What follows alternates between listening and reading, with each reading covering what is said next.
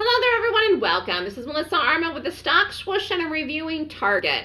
So Target was a was a beautiful gap. For some reason, it took forever and ever and ever to break and go. I don't know why. Sometimes this is the case. Maybe it was because it was such a strong chart.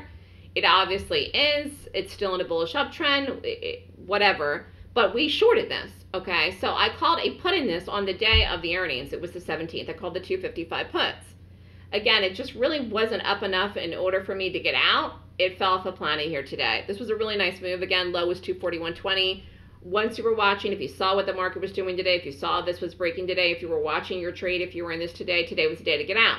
This is up, they moves more than $10 to the strike, almost $15 to the strike, you got to get out. Again, options, the way that I do them is trading momentum. One, I'm trading the gap.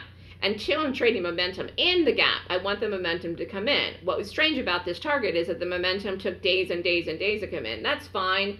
I luckily did not call it with an expiration date from last week. I called it with an expiration date of the 26th. So it all worked out.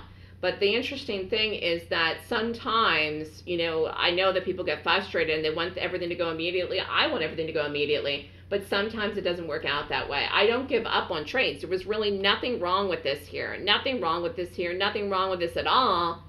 But here's where it broke. Again, today is Monday. I called it last week on Wednesday. That was very difficult to do as a day trade, though. Again, it just some trades are easier than others. But I had the right call. I had the direction right. It was right every day since I called it.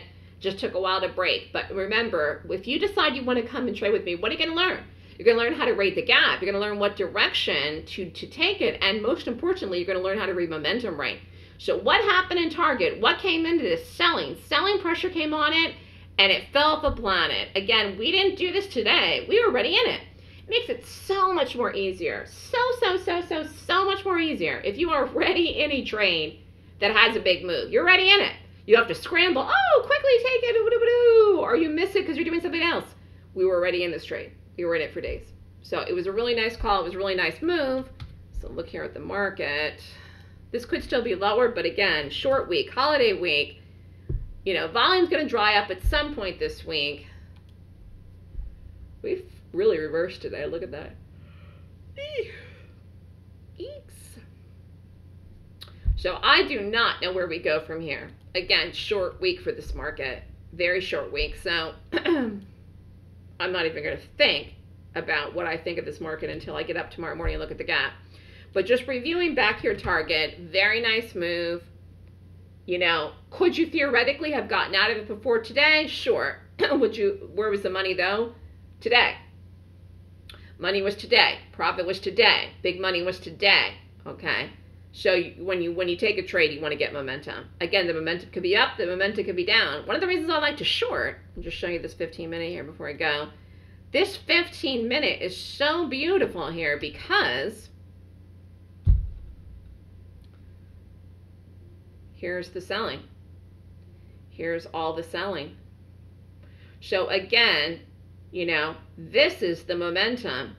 This is the momentum. This is what you want to play you know, and and we were ready in it. So it was a nice call. So we'll see where this goes. We'll see where the market goes. We'll see where everything goes tomorrow. And then please be careful if you trade the rest of the week. I really would just take off. It's going to be, you know, a slow week for the market.